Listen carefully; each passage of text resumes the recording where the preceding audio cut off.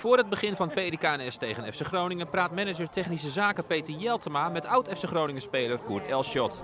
Elschot kan zich binnenkort weer een echte Groninger noemen, aangezien hij midden in een verhuizing zit van Deventer naar de stad. De voormalige rechtsback van FC Groningen is weer terug in het voetbal, want sinds dit seizoen is hij assistenttrainer van zaterdag derde klasse PDKNS. Een vriend van mij, eh, Rafael Bianco, die speelt hier, of die speelde hier al een... Uh... Ja, die gaf aan uh, dat er een vacature was op de dinsdagavond. Nou, en aangezien ik mijn zoontje op andere trainingsdagen train, uh, dacht ik, nou, op de dinsdagavond uh, heb ik nog vrij. Nou, even de spelersgroep bekeken, kennis gemaakt en met de voorzitter natuurlijk en de trainer. En toen waren we er al snel uit, dus ja, vandaar mijn positie hier. En tot nu toe bevalt het zeker. Het, het, is altijd blijven kriebelen, alleen, ja, kon ik er nooit echt een een bepaalde vorm aan geven. Mm -hmm. Maar goed, nu, ja, nu heb ik er de tijd voor, meer tijd voor. En nou ja, ik pak het gewoon goed met beide handen aan. Ik kan me ook heel goed voorstellen dat je een paar maanden geleden niet had bedacht dat je hier op de bank zou zitten tegen jouw club. Nee, klopt. Het is eigenlijk toeval. Ja, niets is eigenlijk mooi. ik ben FC Groningen natuurlijk altijd blijven volgen. En ja, ze hebben hele mooie, goede stappen gemaakt.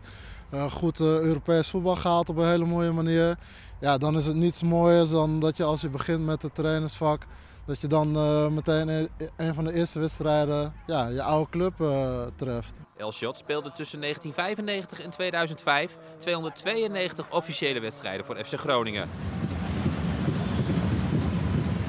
Leonardo. Elshot.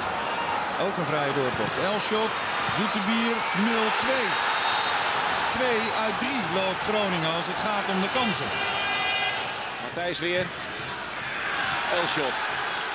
Het is werkelijk aanvallen en inzetten zoals vroeger. Het straatvoetbal. En daar is dan de verrassende goal van Koert Elshot. Ik denk naarmate dat ik uh, ja, meer ging spelen, meer wedstrijden, dat je, kreeg ik een toch aanvallender uh, instelling.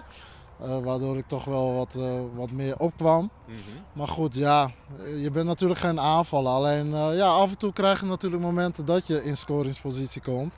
Goed, ik denk dat misschien op één hand te tellen is bij Groningen.